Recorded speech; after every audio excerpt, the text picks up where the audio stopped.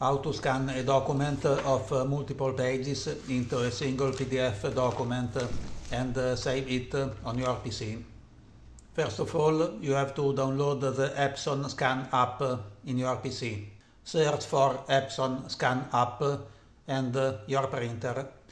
Download it from the Epson website.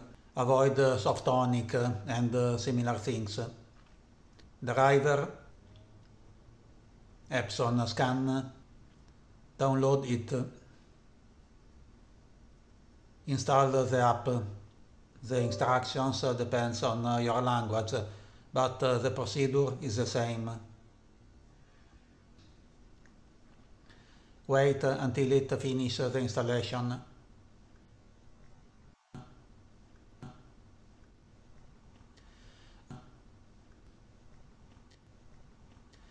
Once installed, you'll find it clicking on the Windows logo in the bottom left of the screen.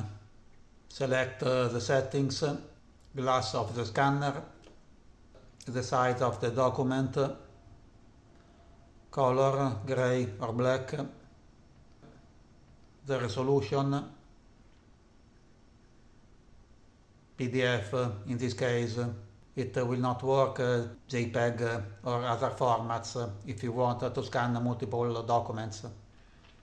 The name, where to save the file, better desktop so you don't have to search it in the whole computer.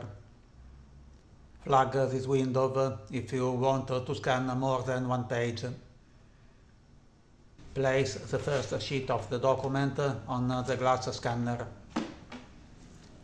click on scan or similar. It depends on the language do you have. It will start the scanning of the sheet.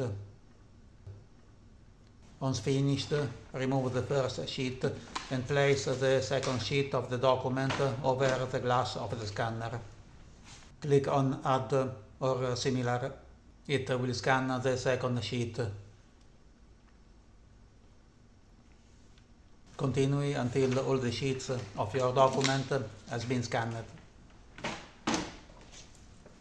Then click on Save. Now you have your document in the desktop of the computer.